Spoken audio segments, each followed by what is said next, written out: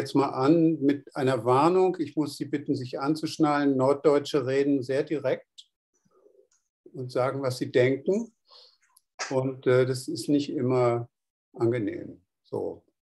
Ich habe äh, selber fast 25 Jahre lang äh, im ganzen Bereich von Deutschland Gottesdienstarbeit gemacht mit Kirchenvorständen, mit äh, Vikaren, Pfarrern und allen möglichen. Also alle, die mit Gottesdienst zu tun haben, mit denen hatte ich auch zu tun und habe dabei viele Einblicke ge gewonnen in die gottesdienstliche Szene, auch in der Schweiz und in Österreich.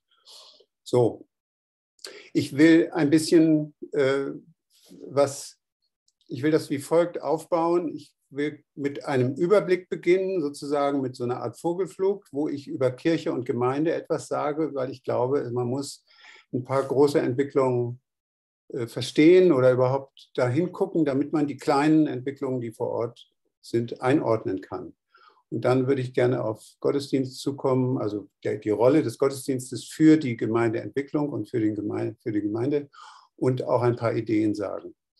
Ich selber war in Rummelsberg öfter. Wir hatten dort ein Projekt, das hieß früher Gottesdienst leben, das heißt äh, Spiritualität im Alter heißt das heute. Das habe ich mal mit erfunden als Vikar und äh, das haben wir dort öfter vertreten. Äh, Harald Wilberg hat es auch gemacht und von daher kenne ich Ihren Ort ein bisschen und Ihre Bemühungen. Also ich fange jetzt mal an mit einem etwas größeren Bogen ich möchte uns erinnern, wo wir herkommen christlich. Das ist nicht ohne. Ich sage es mal so ein bisschen pointiert. Wir berufen uns auf einen obdachlosen Jungerwachsenen, der nicht mal, der gerade so 30 Jahre alt geworden ist. Also ein obdachloser Jungerwachsener mit großen Ambitionen, mit entlegenen Thesen über die Liebe, mit sehr schroffen Umgangsformen, er sammelt ein Rudel verkrachter Existenzen um sich. Er erntet Interesse und Kopfschütteln. Und selbst bei seiner eigenen Truppe und wird hingerichtet. Das ist der Ursprung, auf den wir uns berufen, gemeintlich, mit unseren Verfassungen und den Pro-Kopf-Zuweisungen und all dem. Und aus diesem allen, aus, diesem, aus, diesem, aus dieser Bewegung, aus dieser Jugendbewegung, sagen wir mal, wird eine staatstragende Organisation. Man fertigt dem Obdachlosen eine Goldstatue oder viele Goldstatuen und Priester und Bürgerinnen und Bäckermeisterinnen nehmen sich diesem zum Vorbild. Und man ahnt, dass das nicht eins zu eins funktioniert. Äh, das war eigentlich von Anfang an klar. Also diese, auf dieser Liga äh, sollten wir uns unterhalten wenn wir darüber reden, dass irgendwelche Synoden irgendwelche Stellen beschlossen haben oder nicht beschlossen haben oder so, dann hilft es manchmal, sich zu erinnern, wo wir herkommen, aus der Obdachlosigkeit. So, so war das mal gemacht. Und da gab es, und ich weiß, ich hätte gerne Jesus auch gesprochen, wenn er 65 ist und wie das eigentlich ist, wie er in Rente geht und was er dort für Thesen hätte für, für unser Eins. Es ist ja durch das Evangelium nichts, äh, nichts gesagt, was auf Dauer geschaltet ist. Gar nichts praktisch. Also wie man alt wird, wie man mit den sabbernden Eltern umgeht und wie man mit den Kindern umgeht und wie man äh, andauernd seine Arbeitsstelle wechseln muss, weil dauernd die Apparate wechseln und was weiß ich alles. Dazu ist nichts gesagt. Das Evangelium lässt uns jugendbewegt, wie es ist, alleine mit ganz vielen Fragen der Dauer, des dauerhaften Verschleißes und dergleichen. Und Gemeinden haben und Kirchen haben versucht, diese alte große Botschaft auf Dauer zu schalten äh, und haben dafür Strukturen gefunden. Und diese Strukturen, äh, das merkt man jetzt im Augenblick, wenn zum Beispiel die Querdenker anfangen, auf die Straße zu gehen oder Spaziergänger kommen oder Leute ihre eigenen Religionen ins Mikrofon pusten können, dann merkt man, wie angenehm es doch war, wenn eine Instanz wie die Kirche, also katholisch, evangelisch oder methodistisch, egal, aber wenigstens eine große Instanz, so wie der öffentliche Rundfunk, wie ein großer Filter dazwischen saß, zwischen den Leuten, die gerne irgendwie Querdenken und den Leuten, die gerne mitgenommen werden möchten, wenn eine Instanz dazwischen lag, die korrigiert hat, die Dinge gefiltert hat, die Dinge gemäßigt hat, heruntergefahren hat, damit nicht irgendwie an je, in jedem Dorf ein anderes heiliges Geschrei aufkommt. Also wenn wir heute merken, die Kirche, also diese große institutionalisierte Kirche, geht ganz langsam in die Knie, das muss man ja schon so sagen, ähm, in Ruhe, ne? also kein nichts Überstürztes, aber das muss man schon so sagen, dass diese flächendeckende Bereitschaft äh, äh, vorbei ist wahrscheinlich. Also wenn man das alles sieht, dann kann man auch sehen, was diese Kirche erwirtschaftet hat. Sie hat freie Tage erwirtschaftet im, im Wochenlauf. Sie hat für die Gesellschaft äh, Denktage gefunden, die die Menschlichkeit, menschliche Würde hochhalten. Die Kirche hat vertreten, dass ein einzelnes Gesicht, ein einzelner Mensch wie Jesus Christus Gott darstellen kann. Das war eine der Urbotschaften der Kirche. Und infolgedessen haben Leute gesagt, ja, wenn das so ist, dann kann ich auch den Staat verklagen. Also dieser Mut, dieser Mut, individuell zu sein und als Individuum gegen, gegen die Menge etwas zu bewirken, hat auch christliche Ursprünge. Nicht nur die französische Revolution. Es hat auch christliche Ursprünge, dass der Einzelne in unseren Breiten etwas gilt. Man sieht es im Kontrast im Augenblick zu Russland oder auch zu China, wo der Einzelne so jedenfalls von oben herab gesehen nichts gilt, nicht viel gilt die Kirche hat noch manches andere zurechtgebracht und hingebracht. Äh, denken Sie nur an die unterlassene Hilfeleistung, die heute selbstverständlich strafbar ist und im Gesetz verankert ist. Also vom Samariter-Gleichnis vor 1900 Jahren bis heute, bis es eine justiziable Angelegenheit ist, so lange regiert, so lange braucht der Geist der Mitmenschlichkeit, bis er sich in Formen niederschlägt. Und dafür hat die Kirche Wesentliches getan. Und wie das so ist, der, der SPD ging es auch so. Alles, was an Wohltaten die Kirche und die SPD oder andere Parteien dieser Gesellschaft getan haben, die werden dankbar hingenommen, aber man wählt sie nicht. Es ist nicht so, ist schön, dass es das gibt. Ach so, von euch kommt das, das wussten wir gar nicht so. Also, ich will mal sagen, mir haben schon Leute gesagt, die äh, an Kirche wohl interessiert sind, aber nicht gar nicht so, die auch gar nicht so ablehnend sind, haben mir gesagt, ja, aber uns geht es doch schon gut und die Armen fallen auch nicht durchs Rost und man kann, äh, man darf mehr als man muss. Das ist doch in Ordnung. Wieso muss ich denn da der Kirche beitreten? Die, die Form der Gemeinde, die wir erleben, äh, die, da werden andere noch gültigere Dinge zu sagen in ihrer Vortragsreihe. Ich will es nur so insofern anschneiden, als es für Gottesdienst von Bedeutung ist. Die Gemeinden sind äh, als Bekenntnis und als Versorgungsgemeinschaften in den letzten, jedenfalls in den letzten 200 Jahren geführt worden, ähm, um das Wort Gottes in kleiner Münze für die Leute in homöopathischen Dosen jeden Sonntag und auch sonst in der Seelsorge wieder und wieder zu keulen. Ähm, und wer sich zur Gemeinde hielt, legte gewissermaßen ein Bekenntnis ab. Und die Frage der sozialen Versorgung, also gehöre ich dazu, finde ich Anschluss, äh, kann, bleibe ich einsam oder gehöre ich zum Altenkreis oder zu irgendeiner Initiative. Diese Versorgungsleistung ist auch durch die Gemeinde entstanden. Und da muss man da jetzt sagen, das ist durch allerlei andere soziale Träger inzwischen auch gibt es genauso. Auch dort gibt es Bekenntnisse, also grüne Bekenntnisse oder schwarze oder zum Verkehr oder irgendwas. Auch dort gibt es Bekenntnisgemeinschaft, die sich imstande ist, selber zu formieren und zu halten. Und es gibt auch Versorgungsleistungen in anderen gemeindlichen Formen, die nichts mit der Kirche zu tun haben. Über Vereine, über Parteien, Arbeiterwohlfahrt und was es da alles gibt. So. Ähm, das heißt also, man muss zur Kenntnis nehmen, dass Gemeinde und Kirche jetzt allmählich immer deutlicher Mitspieler werden. Und wenn man den Bereich des Glaubens nimmt, also wenn man fragt, wer vertritt denn christliche Werte, dann äh, muss man feststellen, dass in frei, im Netz oder in der freien, auf dem freien Markt eine Menge christlicher Spiritualität unterwegs ist, die nicht gebunden ist. Die Nordkirche hat eine Netzerforschung gemacht und hat äh, gründlich erforscht, äh, wel welche Menschen nach christlicher Spiritualität suchen und wo. Wo sucht ein Mensch nach christlicher Spiritualität? Und sie haben das ausgezählt und haben festgestellt, dass ein Prozent im Netz bei der Kirche sucht. Ein Prozent.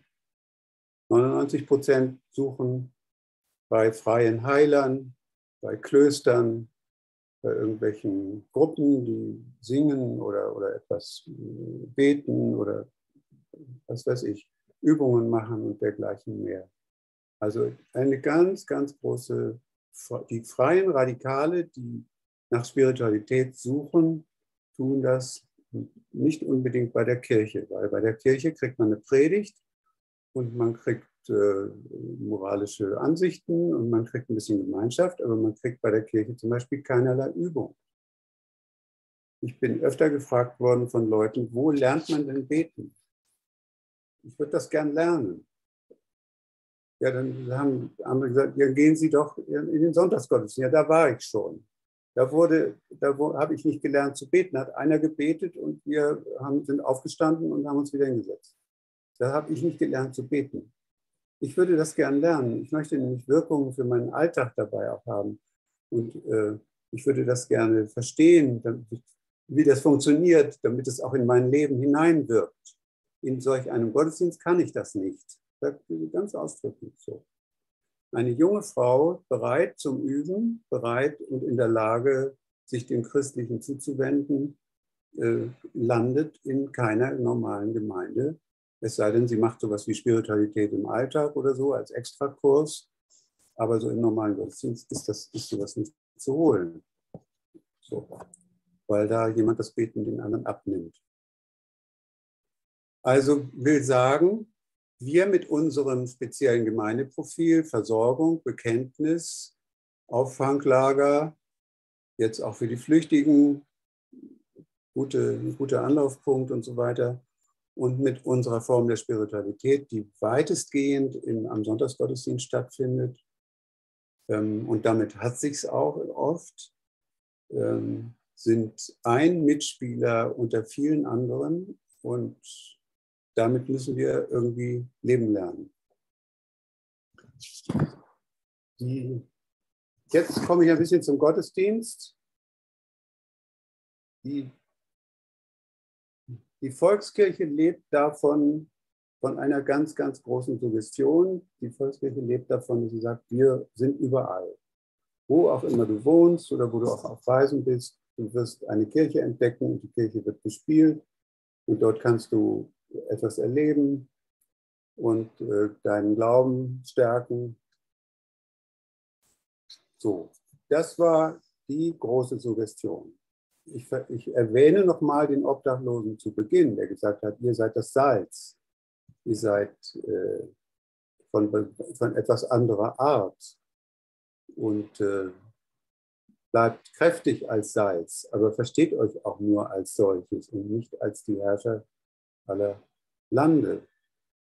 Was ist passiert? Es wurde Staatsreligion, es wurde feudal, es hat sich mit Königen verbündet, die Kirche in der Kirchengeschichte, später mit Fürsten, jetzt mit den Bürgern, immer mit der Suggestion, wir sind für alle da. Und wir sind auch in der Politik immer ganz da und wir haben großen Einfluss. Ich weiß es nicht, äh, ob das so aufrechtzuerhalten ist. Ich weiß es, ich glaube es nicht glaube, das wird so nicht mehr gehen. Und man muss sich, man muss, muss sich entscheiden. Bei der katholischen Kirche war es noch stärker als in der evangelischen, speziell in der Adenauer Zeit. Wir prägen Politik, wir prägen Arbeitsleben, wir prägen Moral, wir prägen Beischlafgewohnheiten.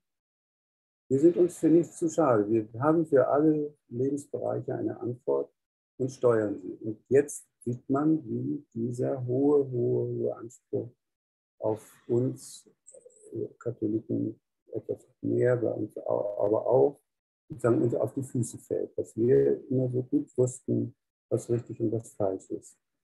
Das muss man nochmal neu fragen. So, und eine Begleiterscheinung dieser Zeit war, dass man solch eine flächendeckende Versorgung nur haben kann, wenn man sie professionalisiert. Das heißt, es braucht bezahlte und nur dafür abgestellte Priester, äh, Pfarrerinnen und Pfarrer, Diakone und so. Äh, sonst äh, kann man dieses Bild nicht aufrechterhalten. Und das heißt, ähm, also bei uns im Norden ist es ein bisschen ausgeprägter, in reformierten Zonen nicht so. Ähm, bei uns ist die Kirche immer noch eine Pastorenkirche, Pastorinnenkirche und Pastorenkirche. Alle gucken auf die Pfarrerin, ob sie etwas tut und ob sie die Dinge vorantreibt oder nicht und an ihr vorbei geht kaum etwas.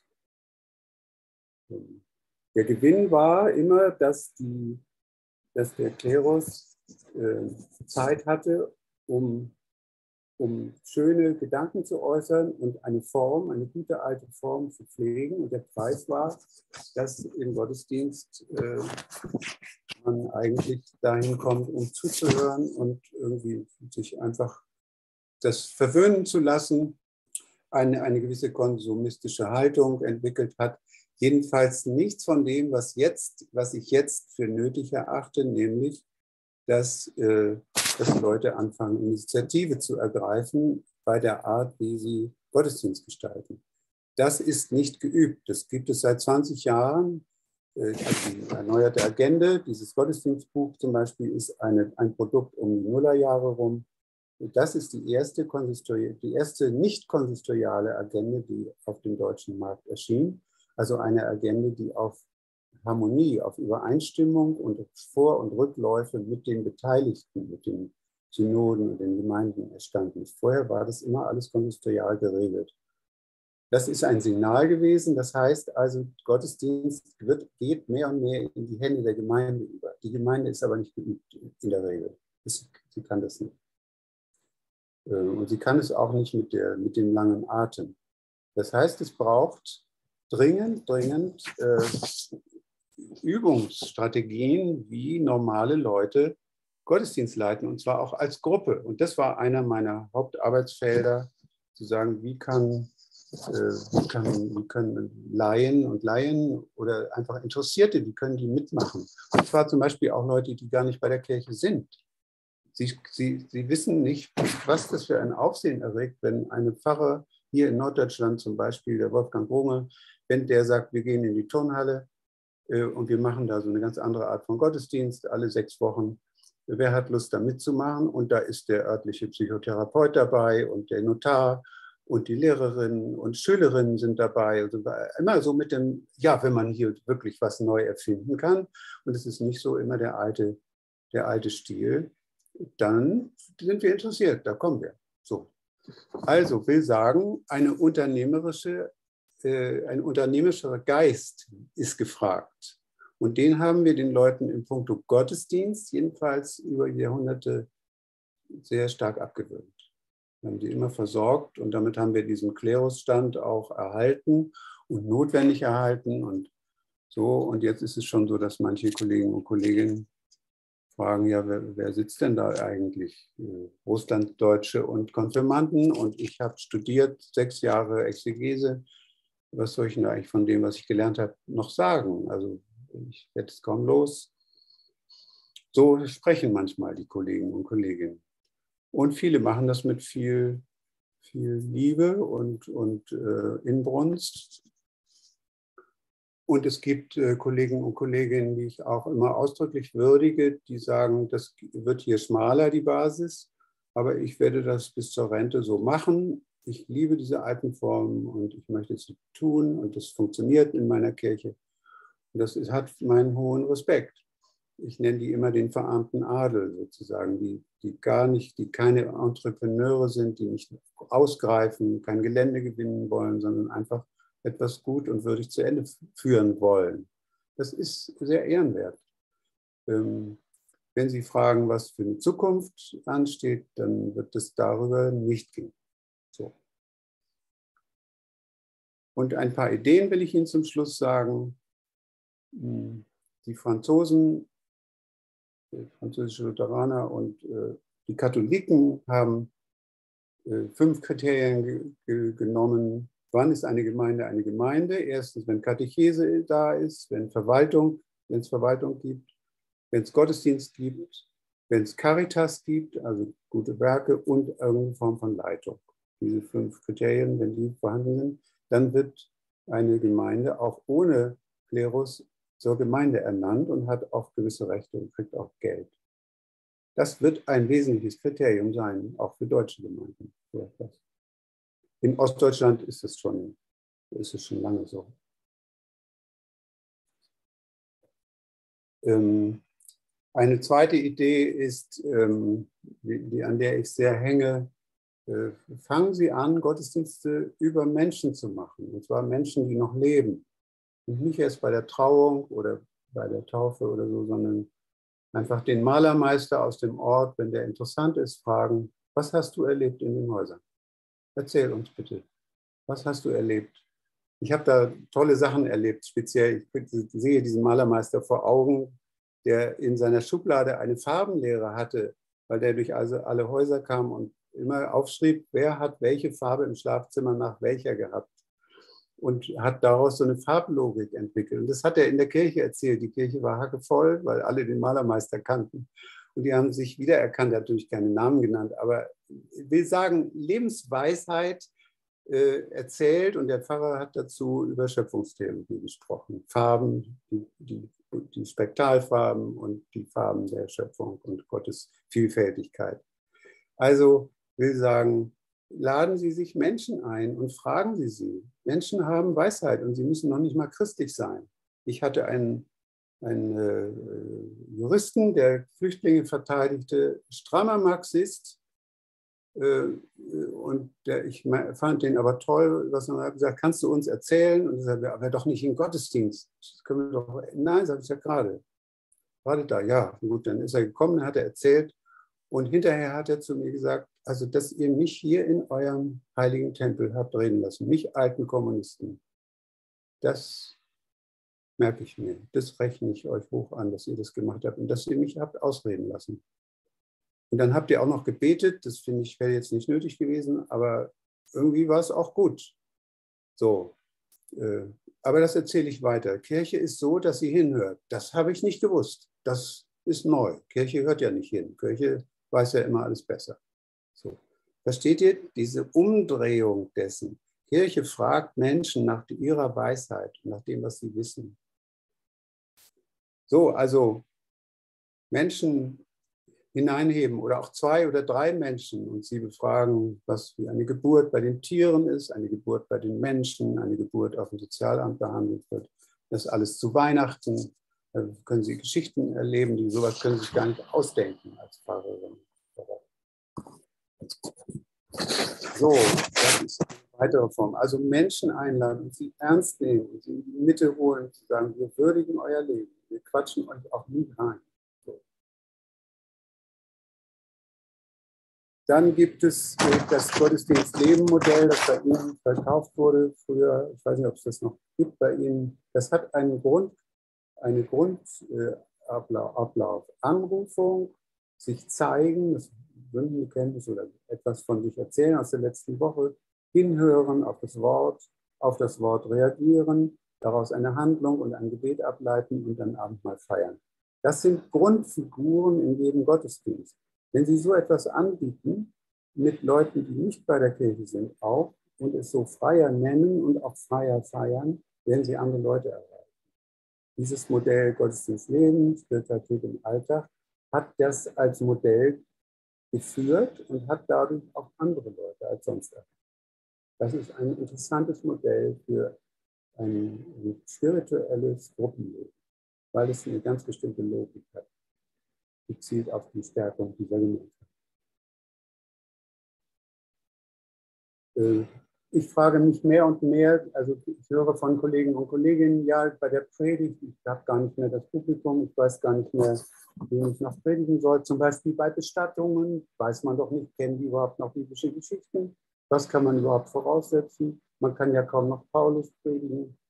Da habe ich gesagt, woher kommt das wohl? Wenn du immer nur zu Eingeweihten predigst, immer nur da zu den Leuten, die ohnehin schon Bescheid wissen und dir recht geben, dann wird deine Sprache auch nicht lebendiger für Leute, die nicht zur Kirche.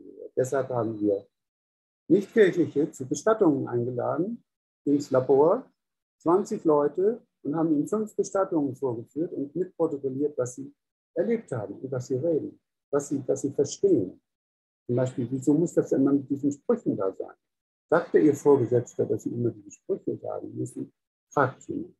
Eine andere sagt, wenn du über Gott redest, höre ich weißes Rauschen. Ich bin gar nicht gegen Gott, aber ich verstehe es nicht. Aber ich gestehe dir zu, dass du so etwas sagst. Sag es ruhig. Aber sprich auch normal zu mir. Bitte sprich auch normal, warum Oma die letzten vier Wochen so grandig war. Du weißt doch was vom Leben, Pfarrer. Dann erklär uns das doch mal. So. Wir, wir möchten auch was hören. Also, machen Pfarrerinnen und Pfarrer das? Sind sie bewandert im Umgang mit Leuten, die nicht automatisch beten? Ja, nein, vielleicht. Sind sie? Sieht man, merkt man es in ihrer Sprache? Sind ehrenamtlich, sind Laien dabei, die so etwas können, mitmachen können?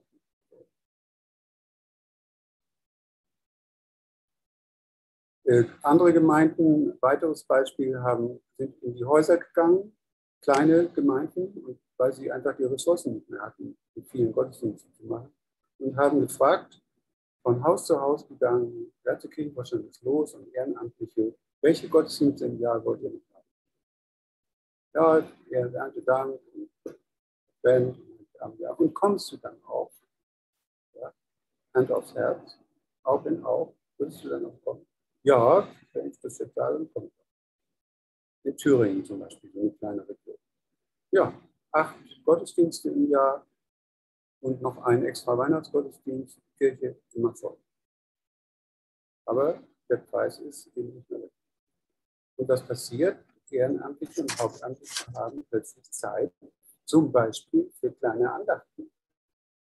Auf den Wegen, beim Pilgern, in den Vorgärten, wir kommen heute zu dir, Fritz, auf den Hinterhof, auf den Bauernhof und machen dort mit den Bänken im Kreis, sitzen wir und feiern Gottesdienst. Fritz fühlt sich total geehrt durch die Kirche. Er ist sonst nicht bei der Kirche. Der tut was für die Gemeinde, für den Ort.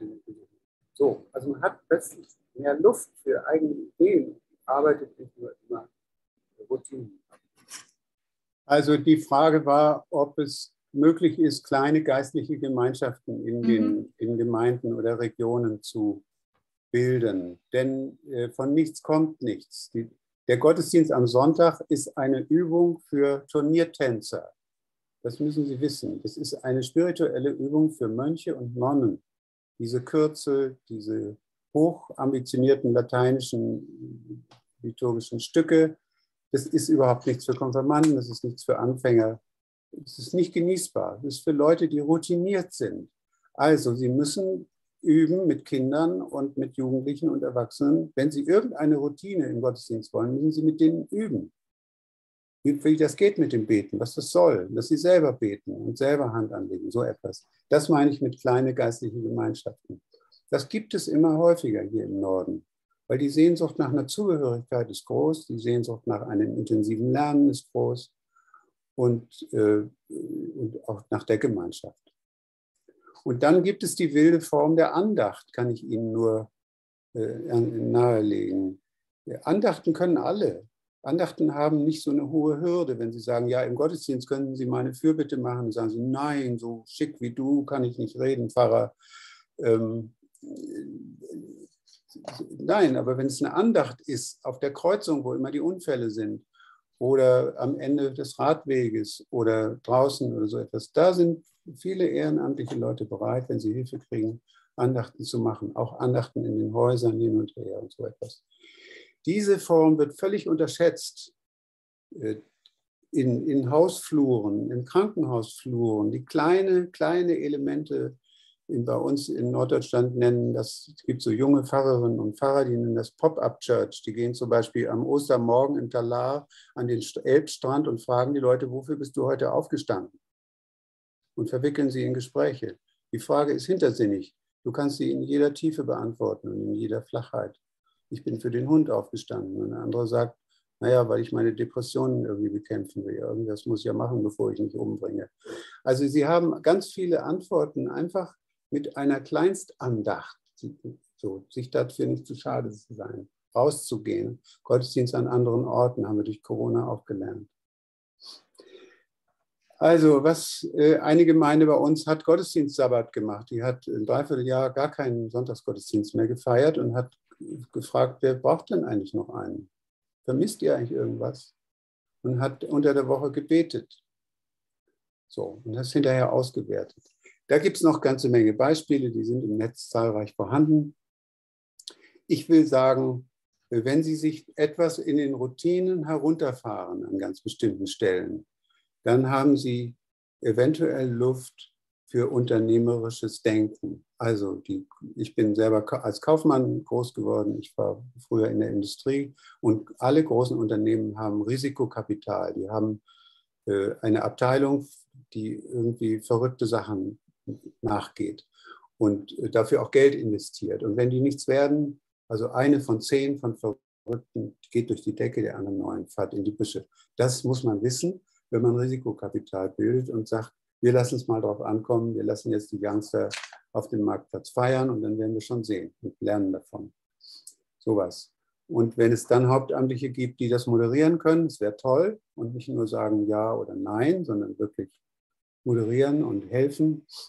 Und wenn aus den Schriftgelehrten, äh, die, wenn Mitspieler werden könnten, Schriftgelehrte Mitspieler, ja, das wäre toll, aber Schriftgelehrte brauchen wir wahrscheinlich in 50 Jahren nicht mehr in dem Umfang, wie wir jetzt dastehen mit unserer Ausbildung. So, jetzt habe ich Ihnen viel äh, verrücktes Zeug um die Ohren geflattert und äh, ich höre jetzt einfach auf.